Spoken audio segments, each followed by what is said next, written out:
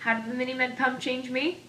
Well, first of all, it took 2,000 shots out of my year. I took about six shots a day. Now with the pump, I only take one shot every three days, and it's amazing. Uh, especially with the the um, meter, because that connects wirelessly with my pump.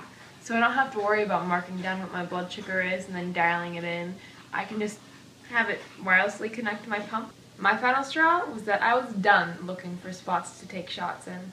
From my legs to my stomach to my arms, it just got a bit crazy trying to find little places that I hadn't overused yet. And so with the pump, I am reducing my risk of scar tissue and it's a lot easier. It doesn't hurt as much. I would recommend for other people to use the insulin pump because it's changed my life and I know that it can change theirs too, especially for the better. I am able to do a wide range of activities now that I have better control over now that I have the pump as opposed to just using the shots. And it feels great.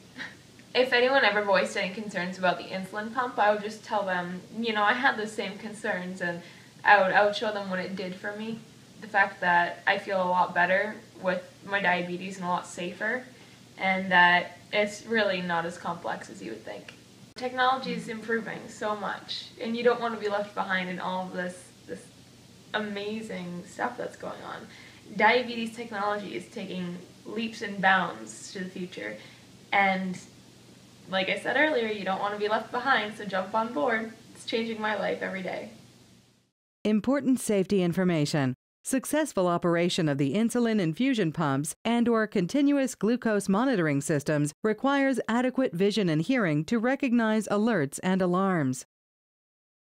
Medtronic Diabetes Insulin Infusion Pumps. Insulin pump therapy is not recommended for individuals who are unable or unwilling to perform a minimum of four blood glucose tests per day. If your insulin delivery is interrupted for any reason, you must be prepared to replace the missed insulin immediately.